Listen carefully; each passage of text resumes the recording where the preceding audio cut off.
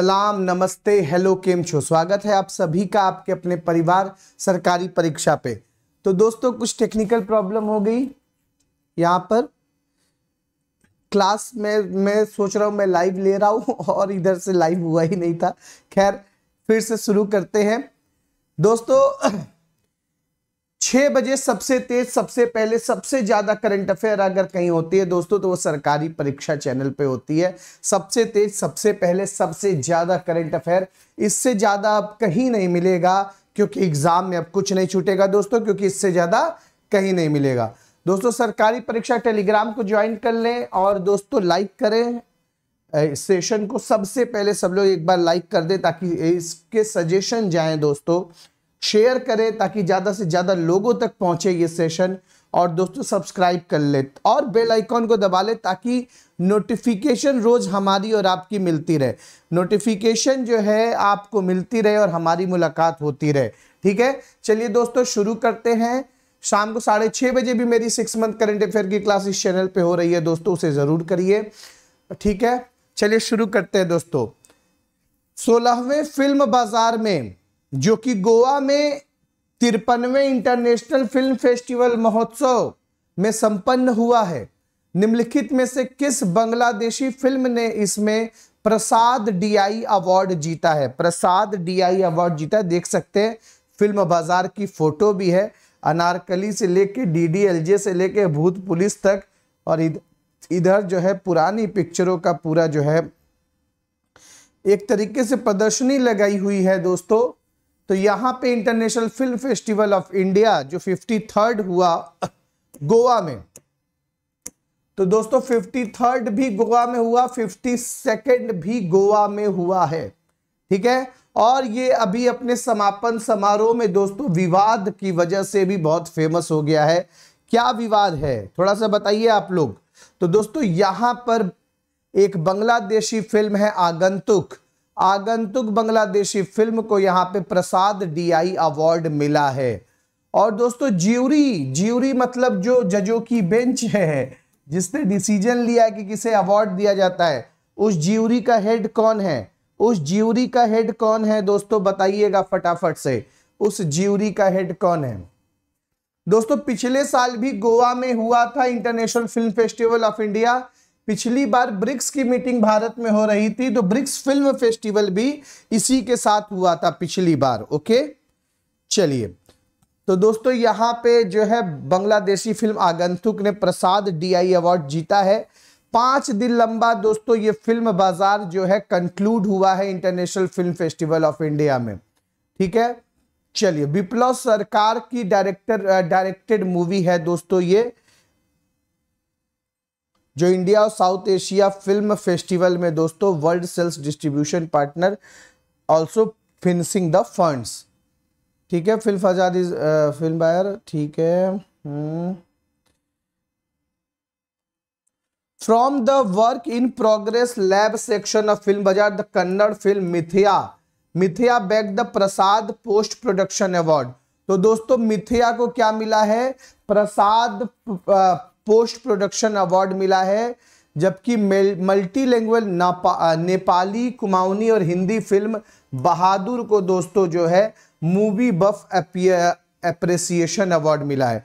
Movie buff appreciation award मिला है दोस्तों, बहादुर को। किसको? बहादुर को। ठीक है? दोस्तों, यहाँ पे बात करें fifty third international film festival of India the joy of cinema 20 से 28 नवंबर के बीच में आयोजित किया गया। ठीक है, बात समझ में आ रही है? 20 से 28 नवंबर के बीच में आयोजित किया गया। ओके, चलिए।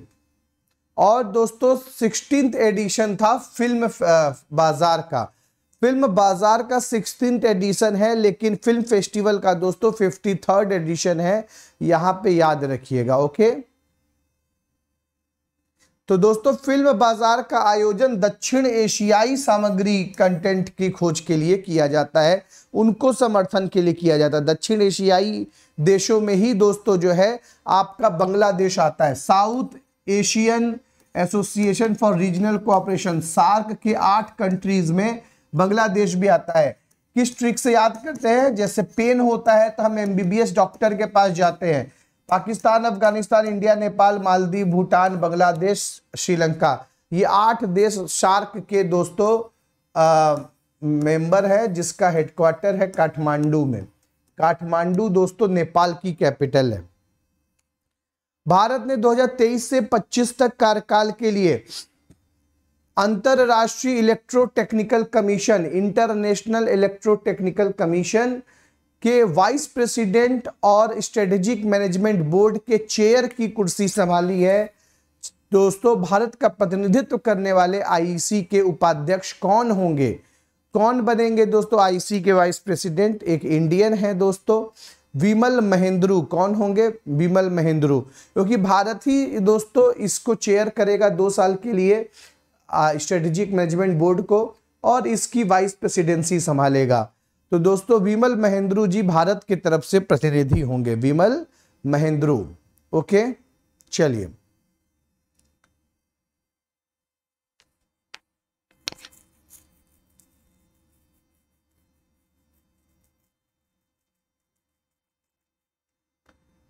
दोस्तों, किस कंपनी ने हाल ही में जीई एरोस्पेस के साथ बहुत सारे दोस्तों कॉमर्शियल एयरक्राफ्ट इंजन कंपोनेंट बनाने के लिए, उसके प्रोडक्शन के लिए, उसकी सप्लाई के लिए एक बिलियन अमेरिकी डॉलर के अपने लॉन्ग टर्म कॉन्ट्रैक्ट को और बढ़ा दिया है। यानी कि कॉन्ट्रैक्ट चल रहा था, उसको बढ़ाया गया है। तो टाटा दोस्तों जो है, टाटा यहाँ जीई एरोस्पेस के साथ जो है कॉमर्शियल एयरक्राफ्ट के इंजन कंपोनेंट्स बनाता है। टाटा। दोस्तों, अभी ये क्वेश्चन 26 तारीख को पूछा था C two nine five aircraft कौन बना रहा है एयरबस के साथ मिलकर? स्पेन की कंपनी एयरबस के साथ मिलकर के वडोदरा में मोदी जी ने उसका उद्घाटन किया है। कौन बना रहा है? तो सीधे सीधे उसका आंसर क्या होगा दोस्तों? टाटा होगा। टाटा होगा दोस्तों। टाटा तो भैया, भारत का पहला पायलट कौन? जे टाटा। दोस्तों, भारत की पहली जो है कि ये टाटा को देखो तो विस्तारा भी टाटा का है, एयर एशिया भी टाटा का है। और दोस्तों, एयर एशिया, मलेशिया के साथ मिलकर विस्तारा सिंगापुर के साथ मिलकर और एयर इंडिया दोस्तों, भारतीय सरकार की जो है कंपनी थी जिसको जो कि टाटा ने खरीद लिया। अठारह हज़ार करोड़ में। ये सब टाटा की कौन सी कंपनी करती है दोस्तों? टेलेस करती है। कौन सी? टाटा की जो एयरलाइंस वाली कंपनी है, उसका नाम है टेलेस, जो एयर इंडिया चला रही है, एयर एशिया चला रही है, या फिर जो है विस्तारा चला रही है। ठीक है, बात समझ में आ रही है? क्लियर है? तो भैया, याद रखिए, उन्नीस सौ तिरपन के पहले एयर इंडिया, टाटा एयरलाइंस ही थी। जिसे उस समय की सरकार नेहरू जी ने जबरन सरकारी बना लिया था दोस्तों। जबरन जो है उसको प्राइवेट से सरकारी करके उसका नाम एयर इंडिया रख दिया था। और एयर इंडिया के पहले हेड भी वही थे दोस्तों, टाटा ही थे। है ना? उस समय कौन रहे होंगे? जे टाटा, है ना? या जमशेद जी टाटा रहे होंगे, उन्नीस की बात है तो। एक बार देख लेंगे, ठीक है? चलिए। दोस्तों, अरिता पट्टी गाँव को किस राज्य का पहला बायोडाइवर्सिटी साइट चुना गया है? तो दोस्तों, तमिलनाडु स्टेट का पहला बायोडाइवर्सिटी साइट चुना गया है अदितापट्टी गाँव को अदितापट्टी गाँव को। दोस्तों, अगर बात करें यहाँ जैव विविधताओं की कमी नहीं है। दोस्तों, अगर हम लोग बात करते हैं तमिलनाडु की तो यहाँ पे अगस्त मलाई एक टाइगर रिज़र्व भी चुना गया है। अगस्त मलाई एक टाइगर रिज़र्व ही चुना गया है। बात समझ में आ रही है? क्लियर है? चलिए, बहुत बढ़िया, शानदार, जिंदाबाद, ज़बरदस्त। दोस्तों, बॉम्बे स्टॉक एक्सचेंज ने किसके साथ यह सुनिश्चित करने के लिए एक समझौते पर हस्ताक्षर किए हैं कि Bombay stock exchange cyber security के उच्चतम संभव स्तर तक सशक्त हो जाएगा। साइबर सिक्योरिटी के हाईएस्ट पॉसिबल लेवल तक इंपावर्ड हो जाएगा। इसके लिए दोस्तों, बॉम्बे स्टॉक एक्सचेंज ने यहाँ पे टैक्स सिक्योरिटी के साथ टाइप किया है टैक्स सिक्योरिटीज के साथ टाइप किया है। दोस्तों बॉम्बे स्टॉक एक्सचेंज एशिया की सबसे पुरानी स्टॉक एक्सचेंज है, जो 1875 में आई थी। 1875 में आई थी, जिनके 30 कंपनियों के ग्राफ को हम लोग सेंसेक्स कहते हैं। क्या कहते हैं मेरे भाई? सेंसेक्स कहते हैं ओके बॉम्बे स्टॉक एक्सचेंज जो है दोस्तों, उसे दलाल स्ट्रीट भी कहा जाता है। मुंबई में इसका हेडक्वार्टर है। बात समझ में आ रही है? चलिए, बहुत बढ़िया, शानदार, जिंदाबाद, ज़बरदस्त। दोस्तों, अगर हम लोग बात करें बॉम्बे स्टॉक एक्सचेंज के, इस समय हेड कौन है और अगले हेड कौन होने वाले हैं, थोड़ा सा आप लोग बताइए। बस मैं हिंट दे देता हूँ कि जो अभी हेड हैं, वो बैंक ऑफ़ बड़ौदा के हेड रह चुके हैं। और आरबीआई के डिप्टी गवर्नर भी रह चुके हैं। आरबीआई के डिप्टी गवर्नर भी रह चुके हैं। बस मैं हिंट दे दे दूँगा आपको, क्योंकि तो आप लोग की पढ़ाई कैसी चल रही है, ये भी तो चेक करना है। दोस्तों स्पेन की कार निर्माता कंपनी है, जो इलेक्ट्रिक कार बैटरी जो है दोस्तों बनाने के लिए यहाँ पे स्पेन की कार निर्माता कंपनी सीट ने स्पेन का पहली इलेक्ट्रिक कार बैटरी प्लांट बनाने की योजना बनाई है। दोस्तों, स्पेन की कैपिटल क्या है? तो दोस्तों, ये जो है, स्पेन की कैपिटल मैड्रिड है, जहाँ पे वर्ल्ड टूरिज़्म ऑर्गेनाइजेशन का हेडक्वार्टर भी है। मैड्रिड में क्या है भैया? वर्ल्ड टूरिज़्म ऑर्गेनाइजेशन का हेडक्वार्टर है। बात समझ में आ रही है? चलिए, बहुत बढ़िया, शानदार, जिंदाबाद। सीट क्या है दोस्तों? वॉक्स वैगन ग्रुप की है। सीट जो कंपनी है, जो ये बनाने जा रही है ये दोस्तों वॉक्स वैगन ग्रुप की ही कंपनी है। ठीक है? दोस्तों, उस भारतीय मूल के एकेडमिशियन की बात बताइए, यानी शिक्षाविद की बात बताइए, जो भारतीय मूल के हैं। यानी जिनके पूर्वज जो है बाप, दादा, कोई ना कोई इंडियन रहा होगा। और ये दोस्तों इंडियन ओरिजिन के हैं, जिन्हें मैसाचुसेट्स स्थित निजी शोध संस्थान टप्स विश्वविद्यालय यानी कि मैसाचुसेट्स की private research institution Tufts university के अगले हेड के रूप में, अगले प्रेसिडेंट के रूप में नामित किया जा रहा है दोस्तों। तो अब भाई देखो, जब कोई इंडियन बाहर जाता है तो इंडिया की नागरिकता रखता है, एनआरआई कहलाता है। जब उनका लड़का होता है, वो उस देश में पैदा होता है तो वो वहाँ की नागरिकता लिया रहता है। यानी पिताजी के पास इंडिया की नागरिकता, उनके पास वहाँ की नागरिकता।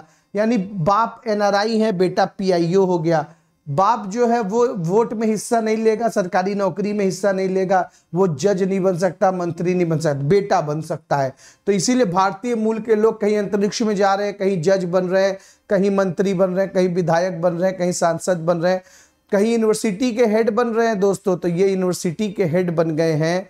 क्या नाम है इनका? सुनील कुमार। क्या नाम है मेरे भाई? सुनील कुमार इनका नाम है। बात समझ में आ रही है? चलिए, बहुत बढ़िया, शानदार, जिंदाबाद, ज़बरदस्त।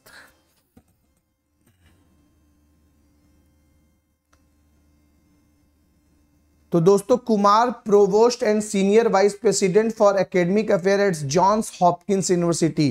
तो जॉब, जॉन हॉपकिंस यूनिवर्सिटी के दोस्तों एकेडमिक अफेयर्स के सीनियर वाइस प्रेसिडेंट थे। अब इन्हें टफ्ट यूनिवर्सिटी का दोस्तों जो है, बनाया जा रहा है अगला प्रेसिडेंट।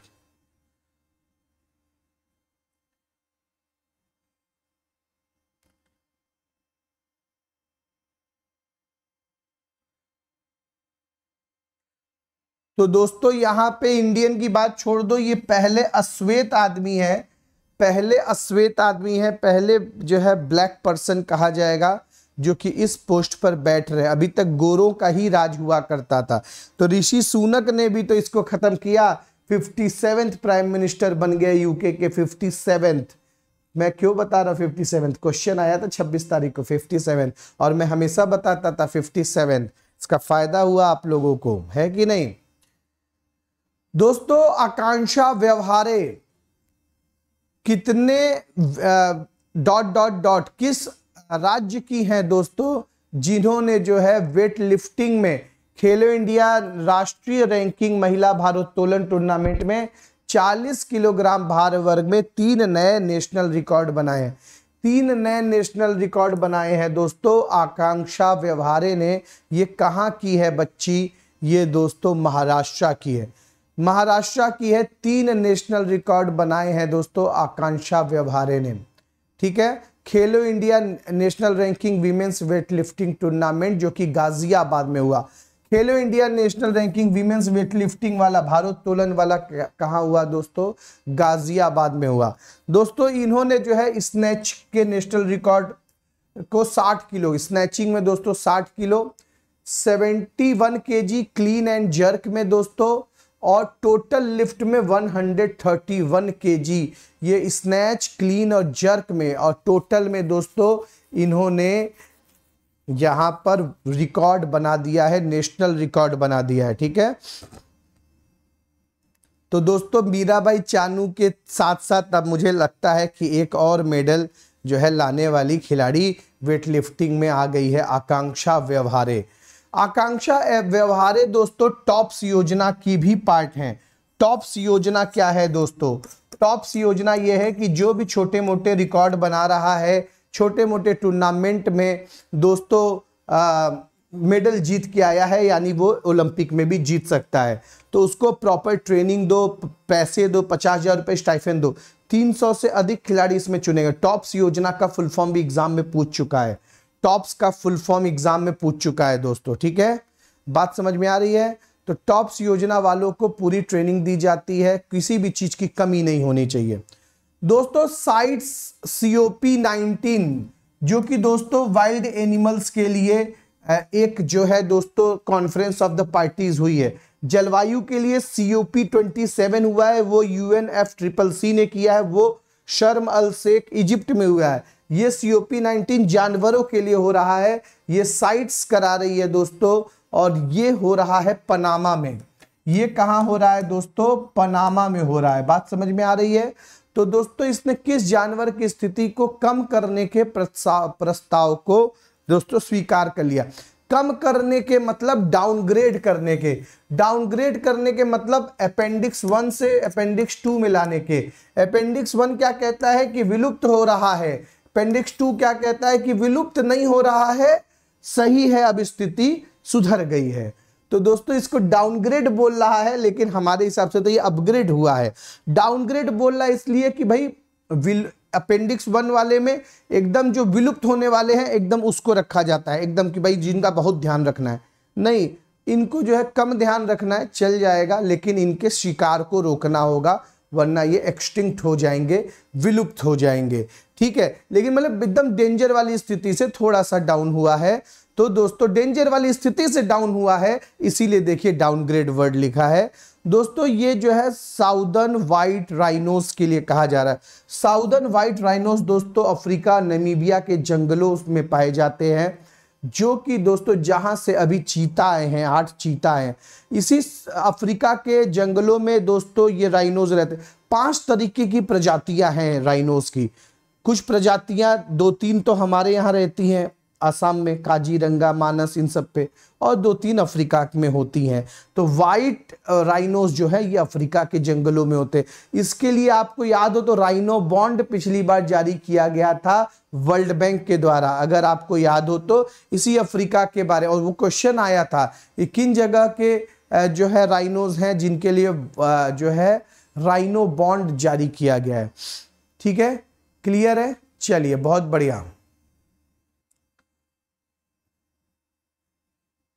साइट्स का फुल फॉर्म भी याद रखिएगा। Convention on international trade in endangered species. तो इंडेंजर स्पीसीज के ऊपर दोस्तों, कॉन्फ्रेंस ऑफ़ द पार्टीज़ हुई है नाइनटीन, जो पनामा सिटी में हुई है, ठीक है? इन्होंने उस प्रपोजल को स्वीकार कर लिया जिसमें बोत्सवाना और निमीबिया के जो है, इस वाइल्ड एनिमल को डिग्रेड कर दिया गया है। Wild animal species listed in appendix one include those threatened with extinction appendix one से अपेंडिक्स टू में किया गया है तो अपेंडिक्स वन वो वाले होते हैं जो कि प्रजात विलुप्तता के कगार पे आ गया है। एकदम उसका खतरा है। अपेंडिक्स टू वाले में दोस्तों may not necessarily be threatened with extinction but trade of such species should be controlled तो इनका व्यापार रुकना चाहिए दोस्तों। अभी काजीरंगा नेशनल पार्क जो आसाम में है, भारत में, वो वर्ल्ड हेरिटेज साइट भी है, वहाँ पे दोस्तों जो है गेंडे के सिंगों के राख से जो है कि एक मूर्ति बनाई गई है, स्मारक बनाया गया है दोस्तों, क्योंकि तो सिंह के ही तस्करी के चक्कर में राइनोस को मारा जाता है। ठीक है, बात समझ में आ रही है? क्लियर? चलिए, बहुत बढ़िया, शानदार, जिंदाबाद, ज़बरदस्त। दोस्तों, अभी जो fifty third I F F I हुई है जो कि विवादों में भी रही है, दोस्तों। मैं बार बार पूछ रहा हूँ, क्यों विवादों में रही है? ये आप लोग से बार बार पूछ रहा हूँ। पूरा कल न्यूज़ में चर्चा ही थी इसी की। तो दोस्तों, यहाँ पे गोल्डन पीकॉक अवार्ड जीतने वाली आई हैव इलेक्ट्रिक ड्रीम्स किस भाषा की फ़िल्म है?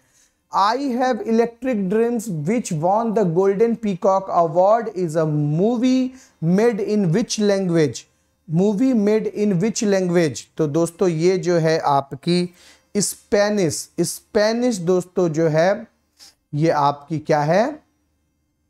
मूवी है, ओके? गोल्डन पीकॉक अवार्ड जिसको मिला है। दोस्तों, यहाँ पे चिरंजीवी जी दिख रहे हैं, जिनकी एक से एक मूवी हम लोग ने देखी है। ये film personality of the year का अवार्ड इन्होंने जीता है है ना? चिरंजीवी जी को। और कार्लो सौरो को जो है, दोस्तों, वो Satyajit Ray life time achievement award मिला है। क्या बात है, ठीक है? क्लियर है? याद रहेगा? Last year golden peacock award cell थी कंपनी सर अरे ये वो गोल्डन पिकॉक अवार्ड अलग है यहाँ मूवीज़ को दिया जाएगा गोल्डन पिकॉक अवार्ड ओके तो दोस्तों गोवा के कैपिटल पणजी में दोस्तों ये आ, जो है सम्मेलन हुआ है ठीक है? ओके दोस्तों, इसके डायरेक्टर है कोस्टा रिका के, कोस्टा रिका के वेलेंटीना मॉरेल, को वेलेंटीना मॉरेल, ठीक है? जो कि 16 साल की लड़की ईवास के जो है दोस्तों, कहानी पर आधारित है।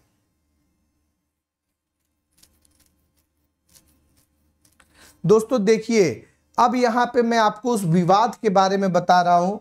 इसराइल के फ़िल्म डायरेक्टर नदाव लेपिड दोस्तों, इस ज्यूरी के हेड है। दोस्तों, ज्यूरी में कौन कौन मौजूद है?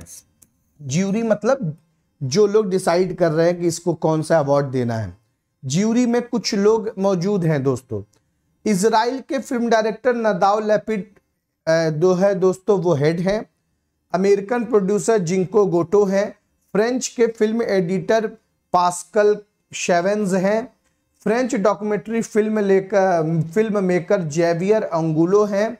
और Indian film director Sudipto Sen है। तो दोस्तों, भारतीय, इस ज्यूरी में भारतीय कौन है? सुदीप्तो सेन भारतीय हैं। खैर, दोस्तों, अगर हम लोग बात करें कि भाई क्या विवाद रहा है तो विवाद ये है कि नदाव लेपिड समापन समारोह में कंक्लूड कर रहे थे। ये ज्यूरी के हेड है नताव लेपिड। क्या नाम है? नदाव लेपिड इसराइल के हैं। इसके पहले कि मैं उस घटना के बारे में बता दूँ, पहले मैं इसराइल के बारे में बता दूँ। इसराइल यहूदियों का देश है, ज्यूस का देश है दोस्तों, ठीक है? वो जिनको कि जर्मनी के हिटलर ने दोस्तों, गैस चेंबर में जेनोसाइड किया, जो पहली बार था कि जो इंसान की प्रजाति देख के लोगों को मारा जाता था। वो वर्ल्ड वॉर में दोस्तों, और हिटलर जो है यहूदियों को जहाँ देखता था वहीं गोली मरवा देता था, वहीं लापता करवा, सैकड़ों सैकड़ों लोग गोली खा रहे हैं। उनके ऊपर दोस्तों बहुत सारी मूवी बनी है, बहुत सारी मूवी बनी है जिसे दुनिया भर में सराहा गया। उस जेनोसाइड को, उस नरसंहार को, वो पलायन करने को मजबूर हो गए पूरे यूरोप से। और यूरोप से पलायन करते करते दोस्तों एक छोटे से देश में आके सिमट गए, जिसका नाम इसराइल है। और वो इतने यूनाइट हो गए उस नरसंहार से, उस जेनोसाइड से कि दोस्तों आज जो है वो सबसे पावरफुल हो गए। और दोस्तों वो जो जेनोसाइड के खुद पीड़ित हैं वो आदमी आया यहाँ पे। अब लेपिड से आप समझ गए होंगे अभी एक वहाँ पे प्रधानमंत्री था या, याइर लेपिड अब उसकी जगह बेंजामिन नेतन्याहू बन गए। तो कुछ दर्द हमें ऐसा लग रहा है कि ये विपक्ष में आ गया है। अब ये बंदा क्या बोला के समापन समारोह में? क्या बोला? बड़े ध्यान से सुनिएगा। कि हमने पंद्रह पिक्चरें देखी इस समा, इस समारोह में। और चौदह पिक्चरें हमने देखी, लेकिन एक पिक्चर हमने पंद्रहवीं देखी, जिसमें हम बहुत असहज महसूस कर रहे थे कश्मीरी फ़ाइल। कश्मीरी फ़ाइल को देखने में ये असहज महसूस कर रहे थे, जो यहूदियों के ऊपर ऐसी ऐसी पिक्चर बनी है, जिसमें देख करके रोंगटे खड़े हो जाए, किस तरीके से उन लोगों को मारा जा रहा था। गैस चैम्बर में, एक कमरे में बंद करके गैस चला दिया गया और गैस में सब हड्डियाँ खाली मिली। ऐसे मारा गया इन लोगों को। वो बोल रहे हैं कि वो देखी, वो बड़ी ही प्रोपगंडा फ़िल्म थी और बड़ी असहज फ़िल्म थी। हम लोग देख करके बड़ा अच्छा नहीं महसूस किए। ठीक है, चलो यहाँ तक बोले, ठीक है, चलो ठीक है, तुम नहीं बर्दाश्त कर पाए होगे। लेकिन बोला, वल्गर कैटेगरी की फ़िल्म है। वल्गर कैटेगरी की फ़िल्म उसे कहते हैं जो एडल्ट फ़िल्म होती है, जो गंदी पिक्चर होती है, मस्ती फस्ती टाइप की जो पिक्चर होती है। उस पिक्चर से तुलना करना, ये जो है दोस्तों, कश्मीरी लोगों के साथ जो नरसंहार हुआ, जो पलायन हुआ, ये उसका सरासर जो है अपमान है और किसी के इमोशंस के साथ इस तरीके के वर्ड नहीं यूज़ किए जाने चाहिए। इसराइल के दूतावास ने माफ़ी मांगी है। इसराइल के दोस्तों एम्बेसी ने माफ़ी मांगी है भारत से। कश्मीरी पंडित अनुपम खेर के पास गए, कश्मीरी पंडित है, वो कि आपके माफ़ी मांगते हैं? इसराइल दोस्तों, इसकी बहुत निंदा किया। इस आदमी के बोला, बयान पर्सनल है। इसमें जो मेंबर है दोस्तों, ये भी बोले कि ये जो है पर्सनल इनका बयान है। हम लोग इससे नहीं बात वाकिफ रखते हैं। लेकिन कुछ लोगों कहना है, इसको पैसा मिला था। अब यहीं से कहीं मिला होगा, ज्यूरी वाला कोई जो है कि सेट कर दिया होगा। कि भैया बोलो ऐसा जिससे कि ये जो है, तुम क्योंकि ज्यूरी हेड हो तो तुम्हारी बात को एकदम सब लोग सच मानेंगे। तो दोस्तों, वलगर कहना, अश्लील कहना ऐसी मूवीज़ को, क्या अश्लीलता है उसमें, बताइए, क्या अश्लीलता है? ये जो है, इनको जो है दोस्तों, माफ़ी मांगना पड़ा। इसराइल के एम्बेसडर को, इन इसराइल के दूतावास को, जो कि भारत में है, उनको माफ़ी मांगना पड़ा है। ठीक है? चलिए, ये इशू है दोस्तों, मैंने सोचा इशू बनाना, बताना बहुत ज़रूरी है। आइए, Vahid Mobasseri the lead actor of no end was honoured with silver peacock award for best actor male best actor male का सिल्वर पीकॉक अवार्ड किसको मिला है दोस्तों? तो इनको मिला है। बात समझ में आ रही है? क्लियर बात समझ में आ रही है? डेनियला मैरीन नवा नारो जो लीड एक्टर हैं best film I have electric dreams का। आई हैव इलेक्ट्रिक ड्रीम्स को भी अवार्ड मिला है ना? गोल्डन पिकॉक तो उसकी बेस्ट एक्ट्रेस का अवार्ड ये ले गई हैं। Silver peacock for best actress award Daniela Marin Navarro को मिला है, ठीक है? ईरानियन राइटर और director Nader Saeivar Nader Saeivar को silver peacock award best director का मिला है। बेस्ट डायरेक्टर का अवार्ड इन्हें नो एंड के लिए मिला है। तो नो एंड के लिए बेस्ट एक्टर का अवार्ड भी गया और बेस्ट डायरेक्टर का अवार्ड भी गया। आई हैव इलेक्ट्रिक ड्रीम्स के लिए बेस्ट एक्ट्रेस का अवार्ड गया और बेस्ट फ़िल्म का अवार्ड गया। तो आई हैव इलेक्ट्रिक ड्रीम्स और नो एंड, ये दो मूवीज़ हैं। एक बेस्ट एक्ट्रेस वाला अवार्ड ले, बेस्ट एक्टर वाला अवार्ड, बेस्ट डायरेक्टर वाला ले गया। ये बेस्ट मूवी और बेस्ट एक्ट्रेस वाला अवार्ड ले गई I have electric dreams okay, बात समझ में आ रही है? आई हैव इलेक्ट्रिक ड्रीम्स दोस्तों, ये स्पेनिश फ़िल्म है। स्पेनिश फ़िल्म है, याद रखिएगा, ठीक है? बहुत बढ़िया। और ये जो है, ईरानी फ़िल्म है, ईरान की फ़िल्म है, तुम्हारी नो एंड ठीक है? दोस्तों, यहाँ पे एक चीज़ और याद रखिएगा कि स्पॉटलाइट कंट्री कौन रही है? Fifty third international film festival of India की स्पॉटलाइट कंट्री कौन है? फ्रांस है। फ्रांस में भी कांस फ़िल्म फेस्टिवल में भारत थी स्पॉटलाइट कंट्री और यहाँ पे फ्रांस है। दोस्तों, लिथियम भारत में नहीं है। लिथियम और कहाँ से आ सकता है? क्योंकि लिथियम आयन बैटरी से ही सोलर पैनल चलते हैं, लैपटॉप चलते हैं बैटरी मोबाइल चलते हैं। अगर लिथियम आयन का आविष्कार नहीं होता तो शायद आज आप ये मोबाइल क्रांति नहीं देख रहे होते, लैपटॉप क्रांति, इलेक्ट्रिक बैटरी क्रांति, सोलर पैनल क्रांति नहीं देख रहे होते। तो लिथियम कहाँ से लाया जाए, इसके लिए भारत जो है परेशान रहता है। तो दोस्तों, लिथियम के डिपॉजिट्स का पोटेंशियल देखने के लिए उसने अपनी एक टीम को अर्जेंटीना भेजा है। वहाँ पे अगर लिथियम मिल जाएगी अच्छे खासे मात्रा में तो लिथियम की सप्लाई अपने यहाँ भारत करा लेगा। ठीक है, वहाँ के जो है, उस पर कब्जा कर लेगा। तो दोस्तों, यहाँ पर जो है, टीम भेजी गई है यहाँ पे तीन लोगों की। तीन जियोलॉजिस्ट की टीम भेजी गई है दोस्तों। बढ़िया बढ़िया जियोलॉजिस्ट हैं, जैसे कि यहाँ पे खनिज विदेश के जो है, कि अधिकारी हैं जियोलॉजिकल सर्वे ऑफ़ इंडिया के हैं मिनरल एक्सप्लोरेशन के हैं, ये सभी दोस्तों तीन लोग गए हैं यहाँ पे, ठीक है? अर्जेंटीना की कैपिटल ब्यूनस आयर्स है और पेसो यहाँ की करेंसी है। पेसो यहाँ की दोस्तों करेंसी है। अर्जेंटीना के ही दोस्तों लियोन मेसी हैं, जो कि भैया उससे हार गए, सऊदी अरब की टीम से हार गए फीफा वर्ल्ड कप में। दोस्तों, republic day parade, republic day महोत्सव में दोस्तों, चीफ गेस्ट के रूप में किसे बुलाया जा रहा है? तो दोस्तों, इजिप्ट के राष्ट्रपति अल सीसी को बुलाया जा रहा है। अल सीसी को बुलाया जा रहा है। दोस्तों, इस बार रिपब्लिक डे में चीफ गेस्ट कौन होंगे? इजिप्ट के अल सीसी होंगे। दोस्तों जी ट्वेंटी में नाइन कंट्रीज़ को गेस्ट के रूप में बुलाया जा रहा है। जिसमें एक इजिप्ट भी होगा।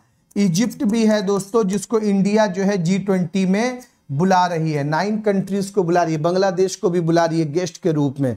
जब आपके यहाँ कोई समारोह होता है G twenty G seven type का तो आप उसके मेंबर ना भी हो तो आपको बुलाया जाता है, अगर आप महत्वपूर्ण हैं उस देश के लिए तो। जैसे कि जी सेवन कहीं भी हो, इंडिया को बुलाया जाता है, जबकि वो उसका मेंबर नहीं है। जैसे आशियान का मेंबर भारत नहीं है, लेकिन कहाँ जहाँ भी हो बुलाया जाता है। जैसे जी सेवन जर्मनी में हुआ, भारत गया। जैसे दोस्तों कंबोडिया के नोम पेन में आशियान की सम्मिट हुई। उसमें दस कंट्रीज़ है इंडिया नहीं है, उसमें भी भारत गए, जगदीप धनखड़ जी गए थे। तो दोस्तों, ये बात होती है, ठीक है?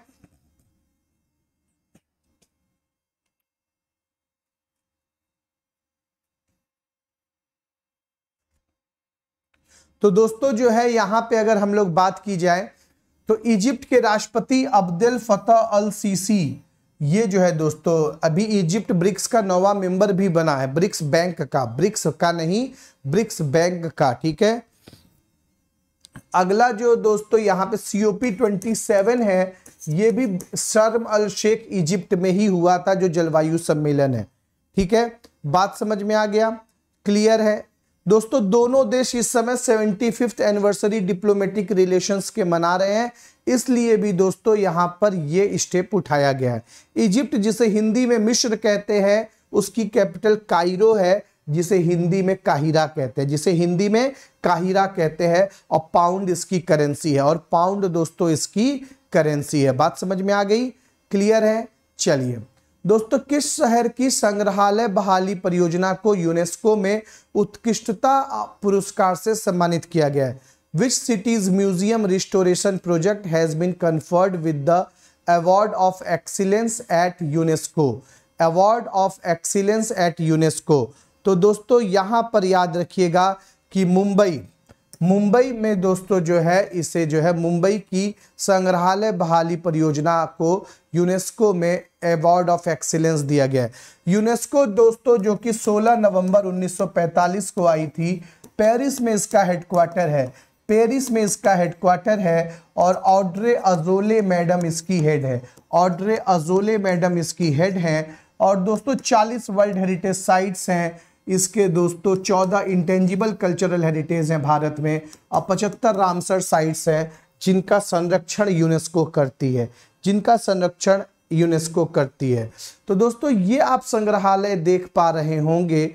ये संग्रहालय आप देख पा रहे होंगे। सत्य छत्रपति शिवाजी महाराज वास्तु संग्रहालय। संग्रहालय का मतलब होता है दोस्तों, म्यूज़ियम, जिसे अवार्ड ऑफ़ एक्सीलेंस दिया गया है। यूनेस्को में Asia Pacific award for cultural heritage conservation के लिए। ठीक है? क्लियर है? तो दोस्तों, यहाँ पे अगर देखा जाए तो ये पूरी की पूरी जो ये ग्रुप है, जैसे कि दोस्तों, डिस्टिंक्शन का पुरस्कार गोलकुंडा हैदराबाद के बावड़ियों को दिया गया है और दोस्तों, मेरिट का पुरस्कार डेमकोंडा किला तेलंगाना को दिया गया है, बायकुला स्टेशन मुंबई को दिया गया है। दोस्तों, फिर से सुनिए।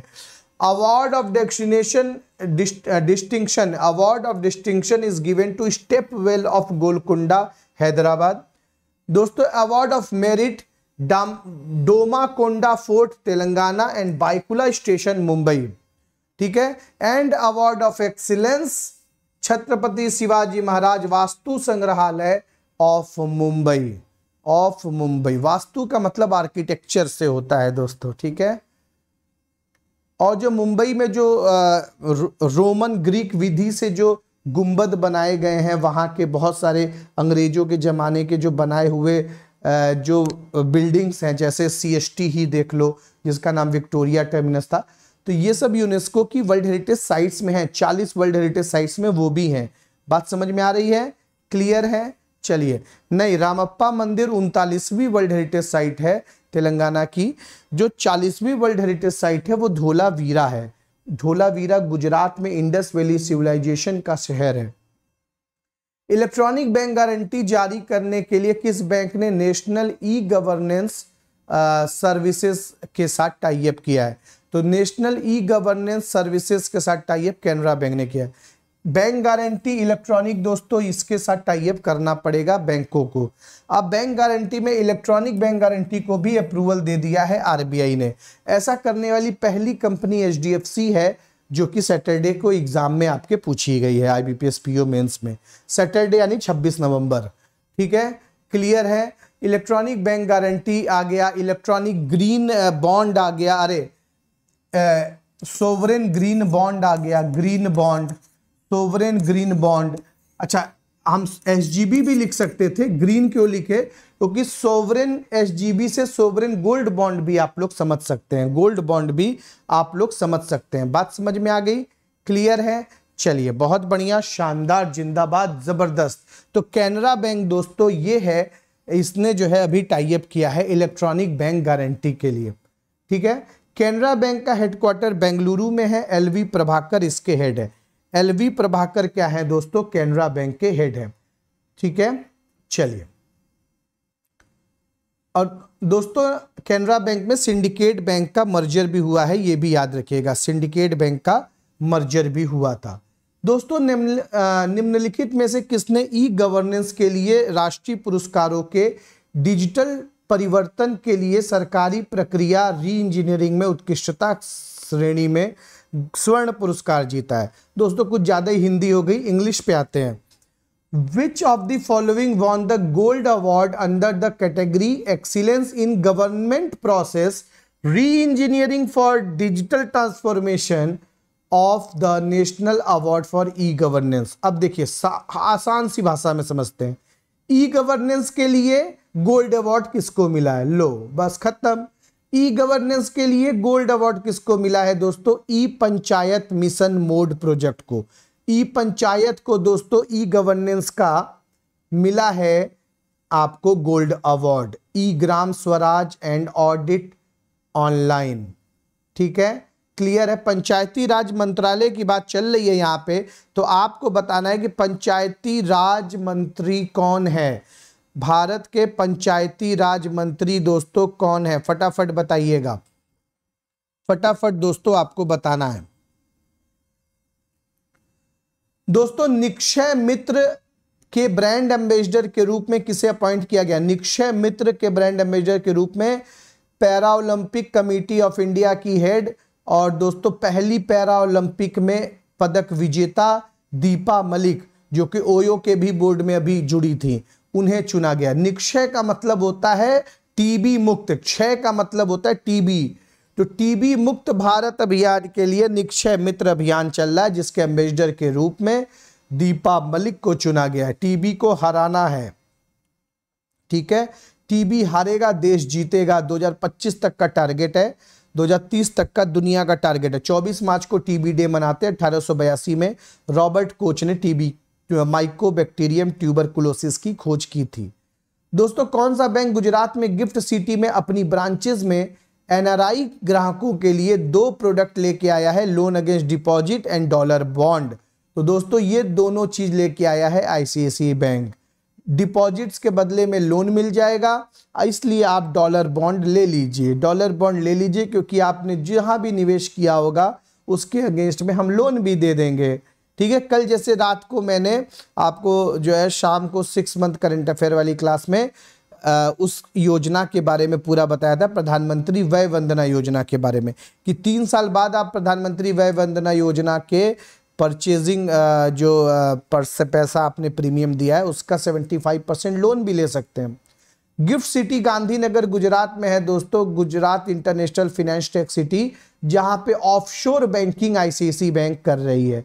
ऑफशोर बैंकिंग किसे कहते हैं दोस्तों? जब कोई बैंक स्पेशल इकोनॉमिक जोन में बैंकिंग करती है और आरबीआई उसे अप्रूवल देती है तो दोस्तों उसे ऑफशोर बैंक कहते हैं। दोस्तों, वहाँ फॉरेन करेंसीज में ही काम होता है क्योंकि वहाँ पे फॉरेन कंपनियाँ होती हैं। फिलिस्तीन लोगों के साथ एकजुटता का अंतर्राष्ट्रीय दिवस कब मनाया जाता है? When is the international day of solidarity with the Palestinian people observed तो दोस्तों, फिलिस्तीन को ही दोस्तों, फिलिस्तीनियों को भगा करके ज्यूज लोगों ने इसराइल पे कब्जा किया था दोस्तों। इसलिए फिलिस्तीन लोगों के लिए, पैलेस्टाइन लोगों के लिए दोस्तों, एकजुटता का अंतरवा, अंतर्राष्ट्रीय दिवस जो है 29 नवंबर को मनाया जाता है। यहाँ तक कि इसराइल की जो कैपिटल है, जेरूसलम, उस पर भी दोस्तों, कब्जा किया इसराइल ने। इसराइल ने इनके गाजा पट्टी पे भी कब्जा किया, बहुत सारी चीज़ों पे कब्जा कर लिया। ठीक है? इनके शरणार्थियों के लिए पैसा भी भारत देता रहता है दोस्तों। अभी ढाई मिलियन डॉलर दिया। अब इस साल पाँच मिलियन दे चुका है। ढाई मिलियन एक बार, ढाई मिलियन एक बार। ठीक है? दोस्तों, दुनिया का सबसे बड़ा सक्रिय ज्वालामुखी मोना लुआ अमेरिका के किस राज्य में? Mauna Loa the world largest active volcano, is in which state of united state? दोस्तों, दुनिया का सबसे लंबा world largest active volcano active volcano मतलब अभी भी लावा इरप्ट होता है जिसमें से। तो दोस्तों, यहाँ पे हवाई में है। हवाई द्वीप है दोस्तों, अमेरिका महाद्वीप में हवाई द्वीप है, जो वर्ल्ड की लार्जेस्ट एक्टिव वॉल्केनो है। कहाँ पे है दोस्तों? मोना लुआ में। उन्नीस सौ चौरासी के बाद ये अब जाके एक बार फटा है, पहली बार फटा है दोस्तों, ठीक है? बहुत इतिहास में लंबे समय तक शांत अवधि को समाप्त कर दिया उन्नीस सौ चौरासी के बाद अब जाके फटा है तो आप सोच सकते हैं कितने दिन तक ये शांत रहा होगा। और दोस्तों जो है ये पाँच मील तक इसका लावा का प्रवाह फैला था। आठ किलोमीटर तक दोस्तों लावा इसका फैला था। इतना बड़ा है ये ज्वालामुखी। दोस्तों दुनिया का पहला नेजल कोविड वैक्सीन किस कंपनी द्वारा डेवलप किया गया है? तो world first nasal vaccine world first nasal vaccine दोस्तों, भारत की हैदराबाद की भारत बायोटेक के द्वारा दोस्तों किया गया है डेवलप भारत की बायोटेक जो कंपनी है दोस्तों, इसकी हेड सुचित्रा इल्ला और कृष्णा इल्ला है, जिन्हें इस बार पद्म भूषण मिला है दोस्तों, और इसी ने कोवैक्सीन भी बनाई थी। भारत की पहली वैक्सीन कोविशील्ड और वो सीरम इंस्टीट्यूट ऑफ़ इंडिया ने बनाई थी और कोवैक्सीन भारत बायोटेक ने ही बनाई थी। ये इसी ने दोस्तों भारत दुनिया का पहला नेजल वैक्सीन बना दिया, जिसका नाम है इनकोवैक क्या नाम है मेरे भाई? इनकोवैक नाम है। याद रखिएगा मेरे दोस्त, क्या नाम है? इनकोवैक नाम है, ओके? बात समझ में आ गई? चलिए, बहुत बढ़िया, शानदार, जिंदाबाद, ज़बरदस्त, बहुत सुंदर। दोस्तों, किस कंपनी ने श्रीहरिकोटा में भारत का पहला निजी रॉकेट लॉन्च पैड लॉन्च किया? दोस्तों, ये भी बहुत बड़ी खबर है। बहुत बड़ी खबरें दोस्तों, अब आपको मिलेंगी। यहाँ से दोस्तों बड़ी बड़ी खबरें शुरू होंगी। दोस्तों, आपने अभी कुछ दिन पहले सुना था कि भारत की पहली रॉकेट भेजी है विक्रम एस। विक्रम एस दोस्तों, भेजी है आपकी स्काई रूट ने। किसने भेजी है? स्काई रूट ने। लेकिन दोस्तों, भारत की पहली रॉकेट लॉन्च पैड की बात हो रही है। प्राइवेट लॉन्च पैड की बात हो रही है, रॉकेट की नहीं। तो दोस्तों, ये अग्निकूल चेन्नई की जो आईआईटी मद्रास की इंक्यूबेटेड कंपनी है, ये अग्नि बाण भेजेगी, जो अग्नि बाण रॉकेट भेजेगी दोस्तों, अग्नि बाण भेजेगी। ये जो है दोस्तों वो अपने लॉन्च पैड से भेजेगी। विक्रम एस को स्काई रूट एरोस्पेस 2018 वाली, हैदराबाद वाली, पवन चंदाना वाली, भारत नागा ढाका वाली। इसने तो दोस्तों विक्रम एस मिशन आरंभ शुरू किया था सतीश धवन स्पेस सेंटर से, यानी इसरो के लॉन्च पैड से श्रीहरिकोटा आंध्र प्रदेश से। लेकिन ये प्राइवेट रॉकेट है। लेकिन भारत की पहली प्राइवेट लॉन्च पैड कौन सी है? तो भारत की पहली प्राइवेट लॉन्च पैड दोस्तों, वो अग्निकूल कंपनी डेवलप कर रही है, जिसका उद्घाटन दोस्तों इसरो के अध्यक्ष एस सोमनाथन ने किया है। ठीक है? क्लियर है? अब दोनों का अंतर समझ गया। भारत का पहला लॉन्च पैड जो है प्राइवेट वो यहाँ की है। भारत का पहला जो है रॉकेट है, वो स्काई रूट का है। भारत का पहला प्राइवेट लॉन्च पैड अग्निकूल का है। भारत का पहला प्राइवेट रॉकेट किसका है? स्काई रूट का है। अब समझ में आ गया? चलिए, बहुत बढ़िया। भारत सरकार ने किस पद के लिए विनय मोहन क्वात्रा का कार्यकाल बढ़ा दिया है दोस्तों? तो विनय मोहन क्वात्रा का कार्यकाल दोस्तों फॉरेन सेक्रेटरी थे, इनका कार्यकाल बढ़ा दिया गया। विनय मोहन क्वात्रा हर्षवर्धन श्रृंगला की जगह फॉरेन सेक्रेटरी बने थे। हर्षवर्धन श्रृंगला क्योंकि जी ट्वेंटी के कोऑर्डिनेटर बना दिए गए थे। नीति आयोग के सीईओ परमेश्वरन अय्यर नियुक्त किए गए हैं। क्योंकि नीति आयोग के CEO Amitabh Kant G twenty के शेरपा बना दिए गए आठ सितंबर से दो, अरे आठ दिसंबर से भारत में जो है दोस्तों, पहली शेरपा की मीटिंग दिसंबर में शुरू हो जाएगी और पहली मीटिंग उदयपुर में होगी, शेरपा लेवल की ही मीटिंग होगी। अभी शेरपा लेवल की मीटिंग जी ट्वेंटी की हुई थी इंडोनेशिया में, योग्याकार्ता में योग्याकार्ता में, ठीक है? कि एक दिसंबर से भारत के पास प्रेसिडेंसी आ जाएगी। तो पहली मीटिंग शेरपा की होगी उदयपुर में, दरबार हॉल में, लेक ऑफ़ द सिटी में दोस्तों, सिटी ऑफ़ लेक में। ठीक है, बात समझ में आ रही है? चलिए।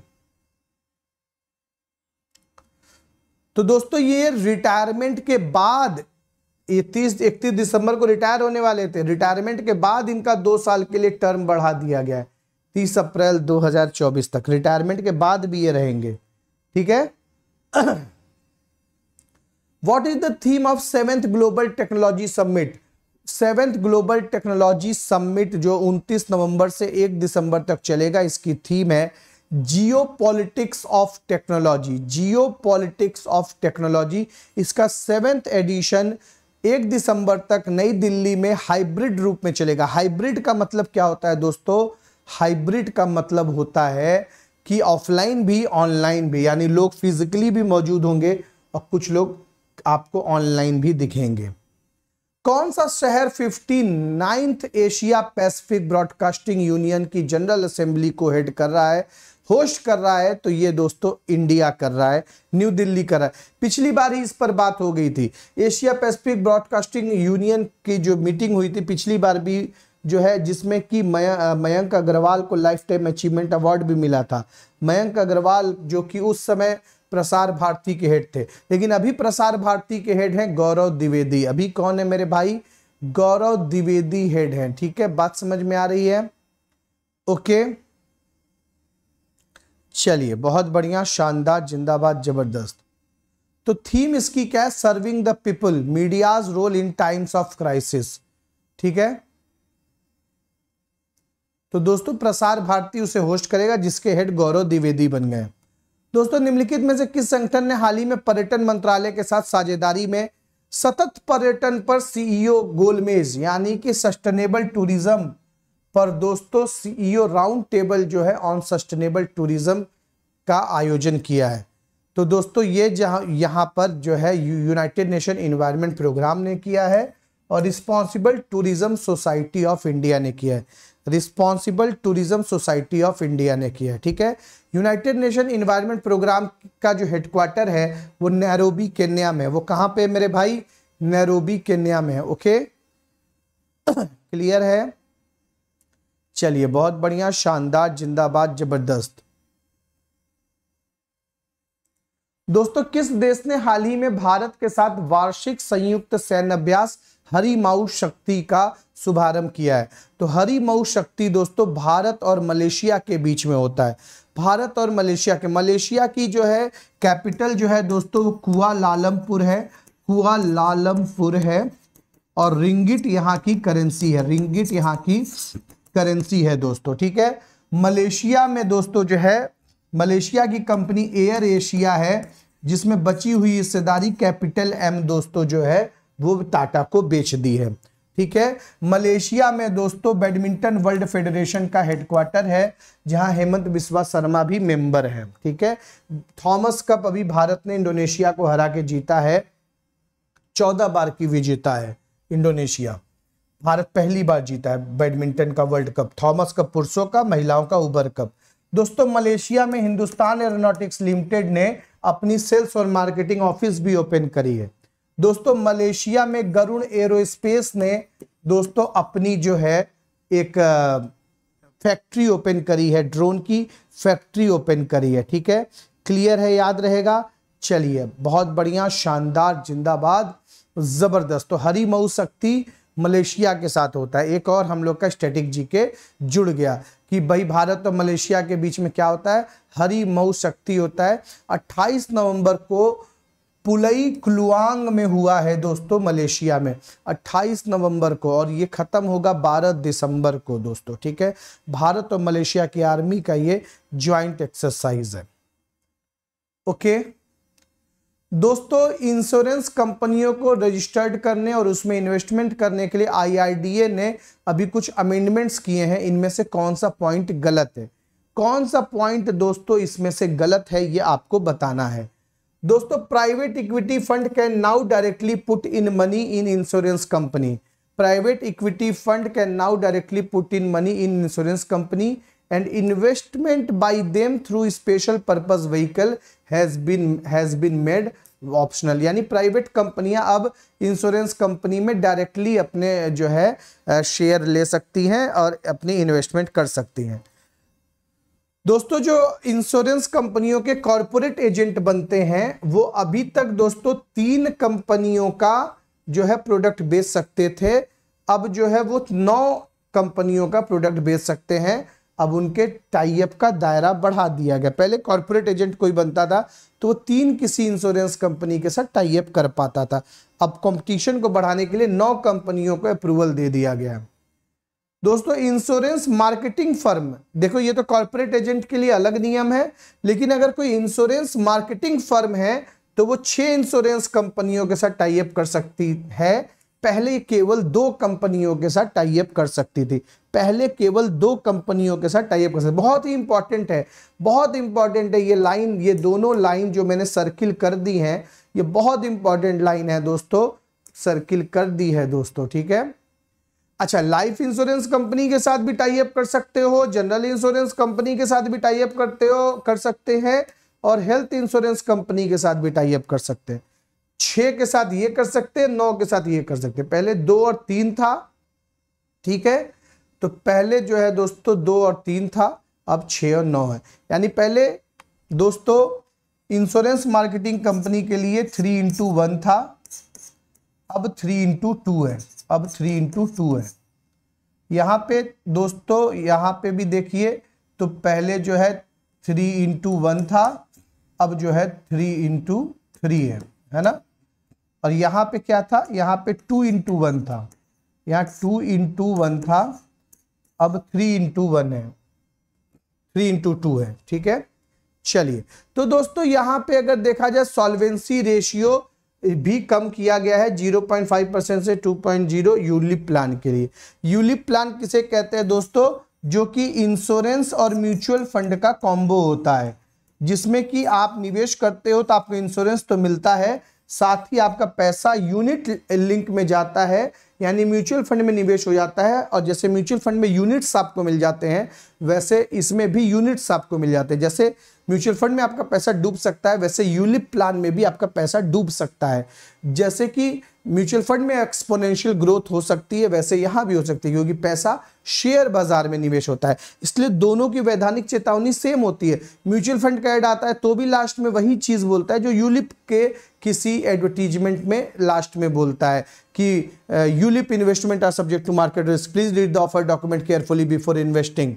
तो दोस्तों क्योंकि ये जो है शेयर बाजारों के अधीन है, मार्केट रिस्क के अधीन है। लेकिन दोस्तों, यहाँ पे जनधन योजना का जो नाम दे दिया तो जनधन योजना कोई इंश्योरेंस का प्लान नहीं है, ये तो अकाउंट खोलने का प्लान है। तो जनधन योजना के बारे में नियम जो है, वो ये नहीं डिसाइड करेगा, वो आरबीआई डिसाइड करे। तो यहाँ पे ये गलत हो गया। अब दोस्तों, बात हो रही है प्रमोटर्स शेयर होल्डिंग की। प्रमोटर्स किसे कहते हैं दोस्तों? जो किसी कंपनी को शुरू करते हैं। तो शुरू में तो पूंजी लगाते हैं, लेकिन बाद में शेयर वेयर आने के बाद अपनी पूंजी को कम भी कर सकते हैं, ताकि वो पैसा आप कहीं और लगाएँ। तो दोस्तों, प्रमोटर्स जो है, अपने स्टेक को डाइल्यूट कर सकते हैं। अपनी जो हिस्सेदारी है, उसको कम कर सकते हैं। कितना कम कर सकते हैं? 26 percent. 26% percent on condition that insurer has satisfactory solvency record for the preceding five year and is a listed entity listed entity का मतलब है, होता है कि आईपीओ आ चुका है शेयर आ चुका है। जब कोई कंपनी अनलिस्टेड है, इसका मतलब वो शेयर मार्केट में नहीं है। अनलिस्टेड है तो आईपीओ आएगा, फिर शेयर मार्केट में वो आएगी। लिस्टेड का मतलब शेयर आ चुका है। तो शेयर आ चुका हो और शेयर आ चुका हो और सॉल्वेंट हो। मतलब सही से चल रही हो कंपनी, कोई दिक्कत ना हो। तो सॉल्वेंसी रिकॉर्ड अच्छा हो उसका, तभी वो 26 परसेंट तक अपनी जो है शेयर होल्डिंग कर सकते हैं। यहाँ तक ले, कम कर सकते हैं अपनी हिस्सेदारी को प्रमोटर्स, अन्यथा नहीं कर सकते हैं। ये जो है सारे नियम बनाने वाली इंश्योरेंस के लिए कौन है? आईआरडीए जिसके हेड है देवाशीष पांडा। देवाशीष पांडा है दोस्तों, जिसके हेड और दोस्तों, हैदराबाद में जिसका है हेडक्वार्टर हैदराबाद में क्या है मेरे भाई? जिसका हेडक्वार्टर है। बात समझ में आ रही है कि नहीं? क्लियर बात समझ में आ रही है? चलिए, बहुत बढ़िया, शानदार, जिंदाबाद, ज़बरदस्त।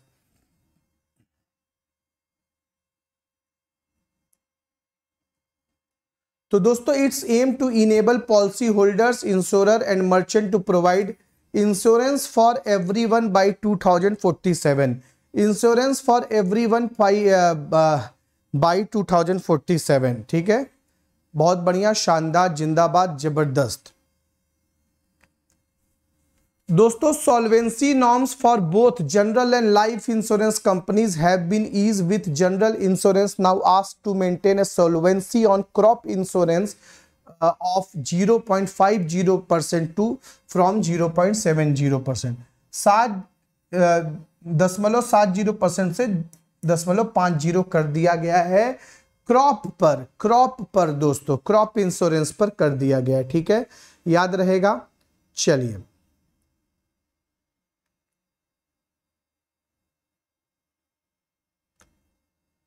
यूनिट लिंक प्लान के लिए सॉल्वेंसी रेशियो को कम किया गया है। 0.80 से 0.60 किया गया है दोस्तों। अब देखिए, प्रधानमंत्री जनधन योजना जहाँ लिखा था, वहाँ है प्रधानमंत्री जीवन ज्योति योजना। प्रधानमंत्री जीवन ज्योति योजना, जिसकी प्रीमियम तीन रुपए से बढ़ा के कितनी कर दी गई है? चार रुपए कर दी गई है, जो कि एक लाइफ इंश्योरेंस पॉलिसी है, जिसमें दो लाख का इंश्योरेंस मिलता है दोस्तों। 18 से 50 साल के लोगों को 55 साल तक वो ले सकते हैं। जीवन ज्योति योजना, जिसका प्रीमियम हमेशा एक जून से शुरू होगा और 30 मई तक ये पॉलिसी चलती है हर साल। ठीक है? ओके? तो दोस्तों, यहाँ पे अगर देखा जाए तो यूलिप प्लान के लिए 0.60 परसेंट किया गया है। यूनिट लिंक्ड इंश्योरेंस प्लान को यूलिप प्लान कहते हैं। और दोस्तों जीवन ज्योति बीमा योजना के लिए 0.5 परसेंट से 0.10 परसेंट किया गया ठीक है? बहुत बढ़िया।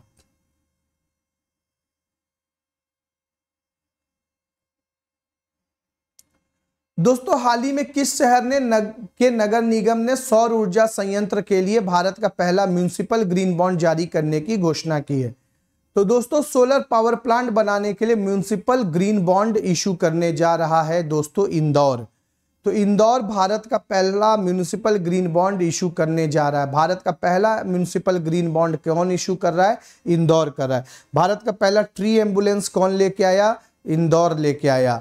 दोस्तों, भारत की जो है सबसे ज़्यादा बार क्लीनेस्ट सिटी का अवार्ड कौन जीता है? इंदौर। स्मार्ट सिटी कौन है? इंदौर है दोस्तों, ठीक है? दोस्तों, आरबीआई ने किस पेमेंट कंपनी के द्वारा ऑनलाइन व्यापारियों की ऑनबोर्डिंग को होल्ड कर दिया है? RBI, hold the onboarding of online merchant by which payment company? तो दोस्तों, जो है यहाँ पे पेटीएम पेमेंट सर्विसेज़ की ऑनलाइन मर्चेंट को ऑनबोर्डिंग को होल्ड कर दिया है। दोस्तों, पेटीएम के ऊपर जो है भारत सरकार की बड़ी निगाहें हो गई हैं। अभी इनका बड़ा बुरा दिन चलने लगा। जब से इनका आईपीओ आया है, ये रोए हैं, तब से इनका बुरा दिन आ गया। इनके शेयर भी गिरते चले जा रहे हैं। है ना ऐसे समय पे ये आईपीओ लॉन्च किए हैं। इतनी अच्छी कंपनी थे, इतना बढ़िया गुडविल था इनका। और उसके बाद भाई साहब अभी पेटीएम पेमेंट बैंक को नए अकाउंट खोलने से मना कर दिया था आरबीआई ने। पेटीएम पेमेंट बैंक को नए अकाउंट खोलने से मना कर दिया था। और अब देखिए भाई साहब कि पेटीएम पेमेंट सर्विस जो है कंपनी है, इसको यहाँ पे पेमेंट एग्रीगेटर सेवाएँ प्रदान करने के लिए जो है दोस्तों जो है फिर से आवेदन करने के लिए कहा है। फिर से आवेदन करने के लिए कहा है। इसका मतलब है कि इसको जो है 120 कैलेंडर दिन के भीतर फिर से आवेदन करना होगा। और तब तक जो है ये ऑनलाइन व्यापारियों को तब तक जो है ऑनलाइन मर्चेंट्स को ऑन बोर्ड नहीं कर पाएगा जब तक इसे फिर से अनुमोदन नहीं कर लेता। जब से इसको अप्रूवल नहीं मिल जाता अप्रूवल पेंडिंग है, फिर से आवेदन करने को बोला है री अप्लाई करो ऑथोराइजेशन के लिए। ओ भाई साहब तो इनके जो है चीज़ें लेट कर दी गई। फिर से आओ, फिर से आओ, तुम लाइन तोड़ के हो, फिर से आओ। पार्टी फंड में चंदा दे दो, फिर आओ। दोस्तों Standard and Poor global rating ने फिनेंशियल ईयर 23 में भारत की जीडीपी वृद्धि के अपने अनुमान को घटाकर कितना कर दिया है?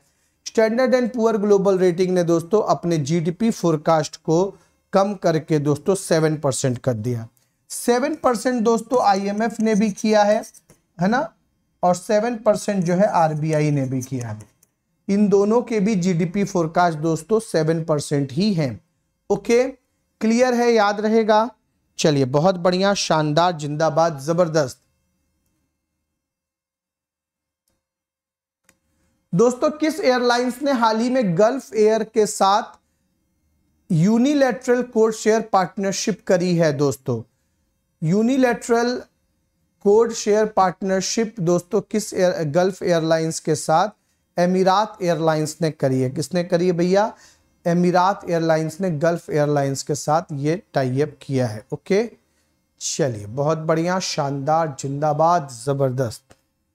दोस्तों, सांस्कृतिक विरासत संरक्षण के लिए यूनेस्को एशिया पैसिफिक अवार्ड के संबंध में कौन से पॉइंट सही हैं? तो दोस्तों, UNESCO Asia Pacific award cultural heritage conservation award दिए गए। तेरह प्रोजेक्ट्स को छह डिफरेंट कंट्रीज़ में एशिया पैसिफिक रीजन में अवार्ड दिया गया है। दोस्तों, छत्रपति शिवाजी महाराज वास्तु संग्रहालय म्यूज़ियम को मुंबई में अवार्ड ऑफ़ एक्सीलेंस मिला है। अवार्ड ऑफ़ एक्सीलेंस मिला है। और दोस्तों, यहाँ पे जो है, हैदराबाद की गोलकुंडा स्टेपवेल को दोस्तों जो है यहाँ पे अवार्ड ऑफ़ डिस्टिंक्शन मिला है। अवार्ड ऑफ़ डिस्टिंक्शन मिला है, जो गोलकुंडा की जो है दोस्तों वाड़ी है। उसे मिला है, ठीक है? तो दोस्तों, ये सारे पॉइंट सही हैं, सही जवाब है दोस्तों। तो छः देश हैं दोस्तों, चाइना, इंडिया, ईरान, नेपाल और थाईलैंड, जहाँ पे ये अवार्ड दिए गए हैं, तेरह अवार्ड दिए गए हैं दोस्तों, ठीक है? क्लियर है? तो दोस्तों, यहाँ पे जो है गोलकुंडा हैदराबाद के स्टेप वेल को विशिष्ट कैटेगरी में दिया गया है। डोमकुंडा किला तेलंगाना को बाइकुला स्टेशन मुंबई को मेरिट कैटेगरी में अवार्ड दिया गया है, ठीक है? दोस्तों, निम्नलिखित में से किस परियोजना ने हाल ही में ई गवर्नेंस के लिए नेशनल पुरस्कार के डिजिटल परिवर्तन के लिए सरकारी परीक्षा ई, सरकारी प्रक्रिया री इंजीनियरिंग में? ये तो हम लोग ने अभी पढ़ लिया, नहीं? तो दोस्तों, यहाँ पे देखा जाए तो गोल्ड अवार्ड किसको मिला है? हम लोग ने वहाँ पे पढ़ा था, लेकिन वो दूसरी कंपनी थी। अब यहाँ पे देखिए तो ई ग्राम स्वराज को तो हमने पढ़ा था अभी। शुरुआत वाले क्वेश्चन में ई ग्राम स्वराज को पढ़ा था। लेकिन दोस्तों, ऑडिट ऑनलाइन को भी गोल्ड अवार्ड मिला है। ये भी हमें जो है ध्यान रखना होगा। ई गवर्नेंस में दोस्तों, यहाँ पे ई स्वराज को मिला है। ई ग्राम स्वराज को और ऑडिट ऑनलाइन को भी मिला है। ई ग्राम स्वराज को मिला है और ऑडिट ऑनलाइन को भी अवार्ड मिला है दोस्तों, ठीक है? क्लियर है? याद रहेगा? चलिए, बहुत बढ़िया, शानदार, जिंदाबाद, ज़बरदस्त। दोस्तों, उस संगठन का नाम बताइए जिसे हाल ही में बीबीवीए फाउंडेशन जैव विविधता संरक्षण पुरस्कार से सम्मानित किया गया है। दोस्तों BBVA foundation biodiversity conservation award से सम्मानित किया गया है इंटरनेशनल स्लो लेपर्ड ट्रस्ट को। इंटरनेशनल स्लो लेपर्ड ट्रस्ट को दोस्तों सम्मानित किया गया है। स्नो लेपर्ड दोस्तों ऑपरेशन स्नो लेपर्ड जो है, वो दोस्तों गलवान घाटी का जो संघर्ष हुआ था, जिसमें हमने 30 से ज़्यादा चीनी सैनिकों को मार गिराया था, गालवान गैलेंट्स ऑफ़ गालवान स्मारक भी वहाँ बना है। जहाँ बिहार रेजिमेंट के दोस्तों किन महापुरुष को संतोष बाबू को मरणोपरांत महावीर चक्र से सम्मानित भी किया गया था? ठीक है, क्लियर है? तो दोस्तों, यहाँ पे आपको याद रखना है कि स्नो लेपर्ड किन दो राज्यों का स्टेट एनिमल है? बताइए, स्नो लेपर्ड किन दो राज्यों का वो है? दोस्तों, मैक्स फाइनेंशियल सर्विसेज़ ने मैक्स लाइफ इंश्योरेंस में मित्सुई सीमी तोमो कंपनी द्वारा शेष हिस्सेदारी खरीदने के लिए आईआरडीए से अनुमोदन प्राप्त किया है। तो दोस्तों, मित्सुई सुमितोमो जो है, दोस्तों, ये जो है, इससे मैक्स लाइफ जो है, हिस्सेदारी खरीद रहा है 5.17 परसेंट। मैक्स जो है 5.17 परसेंट हिस्सेदारी खरीद रहा है मित्सुई सुमितोमो कंपनी से, ठीक है? आईआरडीए का अप्रूवल मिल गया। आईआरडीए दोस्तों हैदराबाद में हेडक्वार्टर है। तो दोस्तों, इस एक्विजिशन के बाद जो है मैक्स लाइफ का जो शेयर होल्डिंग है, इसमें हो जाएगा 87 परसेंट क्या हो जाएगा? 87 परसेंट हो जाएगा। ठीक है? दोस्तों कैस्ट्रॉल इंडिया की मोबिलिटी सॉल्यूशन ने में चार सौ सतासी करोड़ रुपए में ऑल कैश डील में कितने परसेंट हिस्सेदारी हासिल करने के लिए तैयार है? तो दोस्तों, यहाँ पर 7.09 परसेंट हिस्सेदारी हासिल करने के लिए तैयार है। कैस्ट्रॉल इंडिया दोस्तों खरीद रहा है सेवन परसेंट हिस्सेदारी की मोबिलिटी सॉल्यूशन में। किसमें की मोबिलिटी सॉल्यूशन में खरीद रहा है, जो कि टीवीएस ऑटोमोबाइल की डिजिटल सब्सिडियरी है। तो कैस्ट्रॉल दोस्तों टीवीएस वाली कंपनी में जो है हिस्सेदारी खरीद रहा है। ओके? चलिए। दोस्तों, इसरो ने हाल ही में P S L V C fifty four launch किया था, जिसमें नौ सेटेलाइट लॉन्च किया गया था, जिसमें एक भारत का अर्थ ऑब्जर्वेशन सेटेलाइट भी था E O S zero six किस देश का दोस्तों और सेटेलाइट था इसमें I N S two B I N S two B दोस्तों, किस देश की सेटेलाइट है? जो P S L V C fifty four rocket से लॉन्च की गई है तो टू बी बी से हो जाएगा भूटान। बी मतलब भूटान मतलब ये ट्रिक है। बी मतलब भूटान का दोस्तों, अभी जो है एक सेटेलाइट लॉन्च किया। नाइन सेटेलाइट्स में एक आपका भूटान का भी सेटेलाइट था, ठीक है? एक आनंद सेटेलाइट था, एक भूटान का सेटेलाइट था। तो ये सब याद रखिएगा, ठीक है?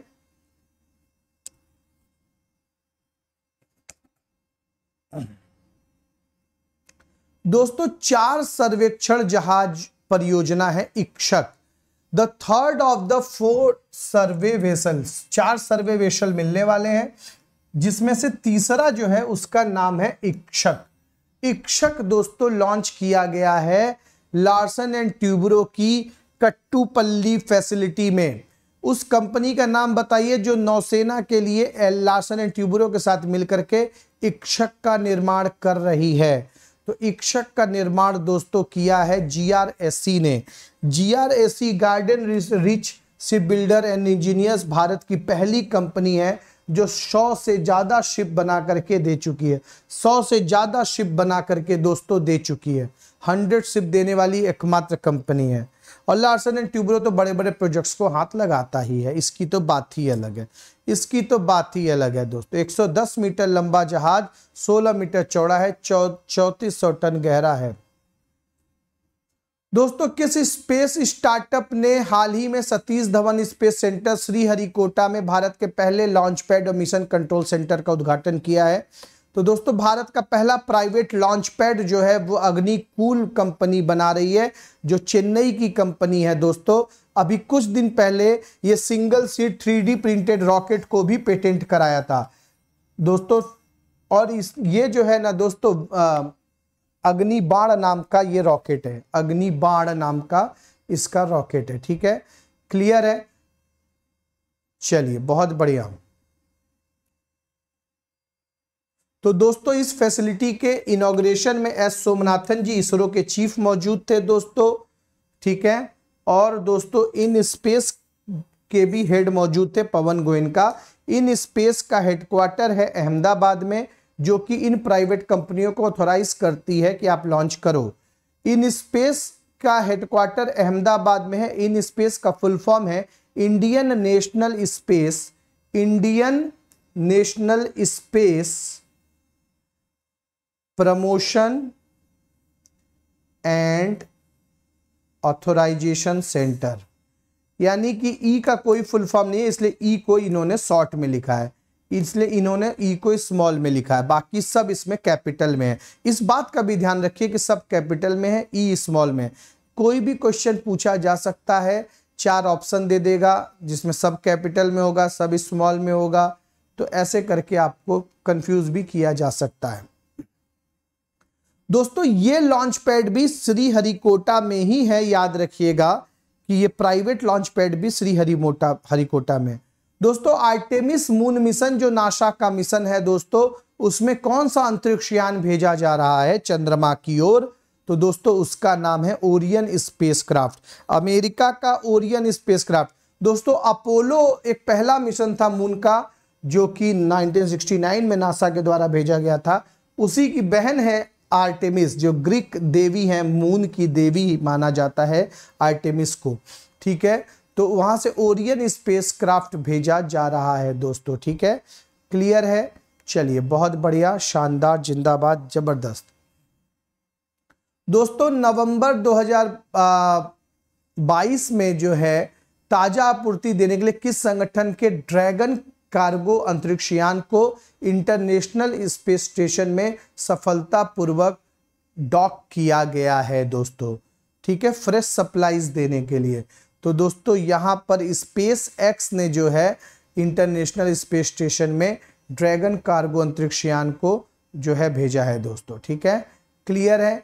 स्पेस एक्स, दोस्तों, जो है, ये एलॉन मस्क की कंपनी है। कैलिफ़ोर्निया में हेडक्वार्टर है। 2002 में आई थी।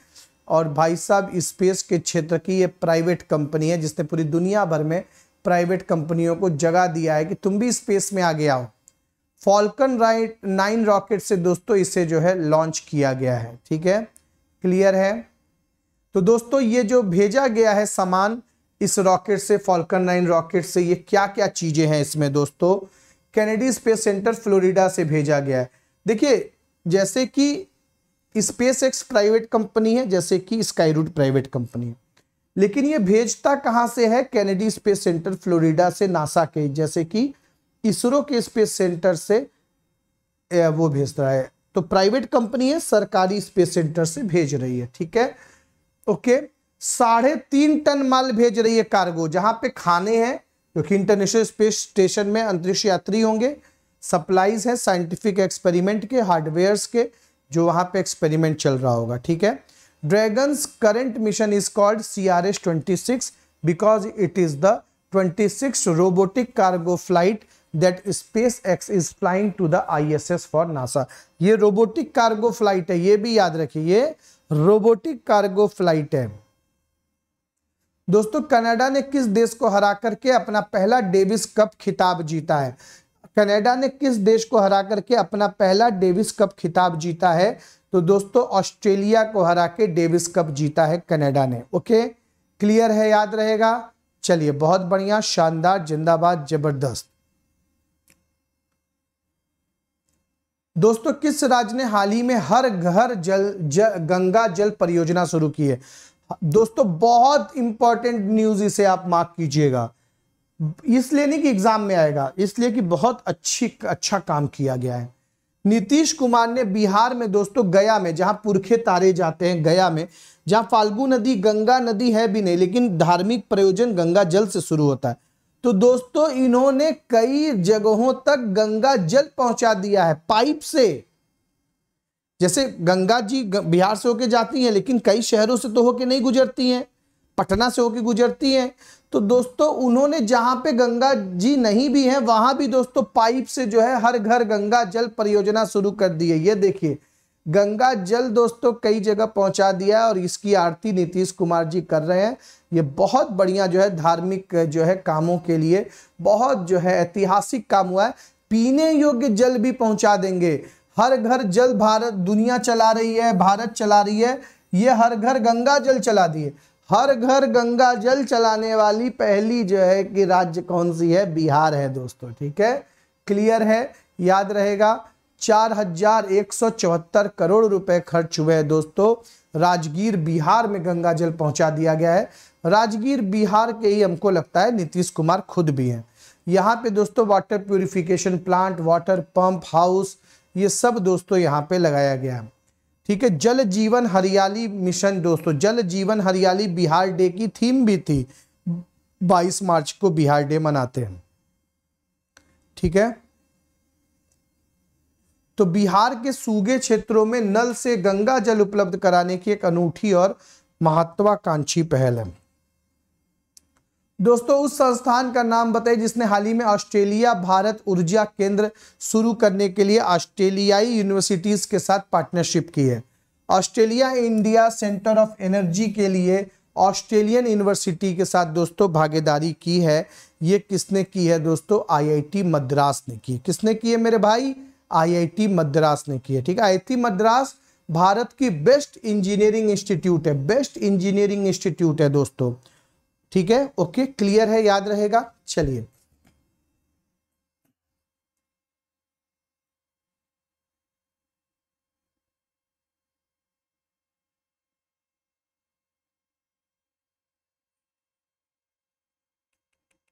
तो दोस्तों, यहाँ पे देखा जाए कि इस वर्चुअल सेंटर लॉन्च किया गया है एनर्जी समिट में। एनर्जी समिट कहाँ पे? आईआईटी जो है, मद्रास में होगा। एनर्जी समिट जहाँ पे इस वर्चुअल सेंटर को लॉन्च किया जाएगा, ठीक है? आईआईटी मद्रास भारत का बेस्ट इंस्टीट्यूट है और बेस्ट इंजीनियरिंग इंस्टीट्यूट भी है। दोस्तों, अनवर इब्राहिम को किस देश का नया पीएम चुना गया है? तो ये दोस्तों, मलेशिया के नए पीएम चुने गए, ठीक है? मलेशिया के नए पीएम कौन चुने गए? Anwar Ibrahim. Kuala Lumpur capital है रिंगिट करेंसी है दोस्तों, अनवर इब्राहिम यहाँ के प्राइम मिनिस्टर हैं। गरुण एरोस्पेस दोस्तों यहाँ के जो है दोस्तों फैक्ट्री बनी है। यहाँ पे दोस्तों, हिंदुस्तान एरोनॉटिक्स लिमिटेड ने भी अपनी जो है सेल्स और मार्केटिंग ऑफ़िस ओपन करी है। और दोस्तों किंग सुल्तान अब्दुल्ला हैं। किंग वहाँ के सुल्तान अब्दुल्ला हैं, जिन्होंने प्राइम मिनिस्टर अपॉइंट किया है। जिन्होंने प्राइम मिनिस्टर अपॉइंट किया है, ठीक है? दोस्तों, निक्षय मित्र के ब्रांड एम्बेसडर दीपा मलिक चुनी गई। निक्षय मित्र की ब्रांड एम्बेसडर दीपा मलिक दोस्तों चुनी गई हैं। भारत के संविधान को अपनाने के उपलक्ष्य में हर साल 26 नवंबर को भारत में संविधान दिवस मनाया जाता है। भारत सरकार ने किस ईयर 26 नवंबर को संविधान दिवस के रूप में मनाने का निर्णय लिया है? तो दोस्तों 2015 में संविधान दिवस सोशल जस्टिस मिनिस्ट्री के द्वारा। सोशल जस्टिस भी याद रखिएगा, क्वेश्चन आया था। 26 नवंबर उन्नीस सौ उनचास को कॉन्स्टिट्यूशन दो साल ग्यारह महीने अट्ठारह दिन में बनके तैयार हुआ था। दोस्तों, विक्रम गोखले जी का हाल ही में 77 साल की आयु में निधन हो गया दोस्तों। विक्रम गोखले जी का दोस्तों, निधन हो गया है। आपने देखा होगा, हम दिल दे चुके सनम जैसी बहुत सारी पिक्चरों में इन्होंने काम किया। हंगामा हंगामा में भी शायद काम किया है क्या? तो दोस्तों, यहाँ पे ये एक बहुत प्रसिद्ध एक्टर थे दोस्तों, जिनका निधन हो गया है। ओके? क्लियर है? मिशन मंगल में अयारी में, भूल भुलैया में बहुत सारी पिक्चरों में इन्होंने काम किया। इन्हें दोस्तों 2011 में संगीत नाटक एकेडमी से भी सम्मानित किया गया था। दोस्तों, कौन सा स्टेट है जो track Asia cup cycling tournament की मेजबानी करेगा? तो दोस्तों, ये केरल करेगा। साइकिलिंग टूर्नामेंट की मेजबानी, एशिया कप साइकिलिंग टूर्नामेंट की मेजबानी दोस्तों, केरल करेगा। ठीक है? एशिया के सबसे बड़े साइकिल आयोजनों में से एक है, जहाँ 25 से अधिक देशों के लगभग 200 साइकिलिस्ट भाग लेंगे। तो दोस्तों, ताबड़तोड़ तरीके से हम लोगों ने करेंट अफेयर को किया है। ताबड़तोड़ तरीके से हम लोगों ने करंट अफेयर किया। बहुत सारी न्यूज़ थी। बहुत सारी न्यूज़ में डिलीट भी कर देता हूँ दोस्तों। बहुत सारे, आप देखते होंगे कि अचानक से 16 17 के बाद 19 आ जाता है। या 21 22 के बाद 24 आ जाता है। तो ऐसा नहीं है कि मैं तुम लोग को बहुत जो है, मैं बहुत जो फालतू न्यूज़ होती है, बनाने के बाद मुझे लगता है कि नहीं यार बहुत ज़्यादा टाइम टेकिंग हो जाएगा तो इसको हटा दो, कोई बात नहीं। तो दोस्तों, ऐसी न्यूज़ हटा भी देते, लेकिन किसको प्यार करूँ, कैसे प्यार करूँ, किसको छोड़ूं? तो दोस्तों, क्योंकि डेली करंट अफेयर में तो हमें सब पढ़ना चाहिए। रिवीजन क्लास में मैं हटा भी देता हूँ वीकली करंट अफेयर हो गया मंथली करंट अफेयर हो गया सिक्स मंथ करंट अफेयर हो गया। लेकिन डेली करंट अफेयर में कभी नहीं छोड़ना चाहिए न्यूज़ को। क्यों? क्योंकि डेली करंट अफेयर्स दोस्तों आपको एक बार तो हर न्यूज़ जाननी ही है। और यहाँ पे बहुत सारे इंपॉर्टेंट न्यूज़ थे, किसी को नहीं हटाया जा सकता। सारे इंपॉर्टेंट न्यूज़ थे, किसी को नहीं हटाया जा सकता था। इसीलिए आज का सेशन लंबा हो गया, ठीक है? कोई बात नहीं। लेकिन न्यूज़ बहुत मिली है और इससे ज़्यादा कहीं नहीं मिलेगा। इससे ज़्यादा न्यूज़ दोस्तों कहीं नहीं मिलेगा। थैंक यू सो मच शुक्रिया, धन्यवाद। जय हिंद, जय Bharat. Bye take care love you all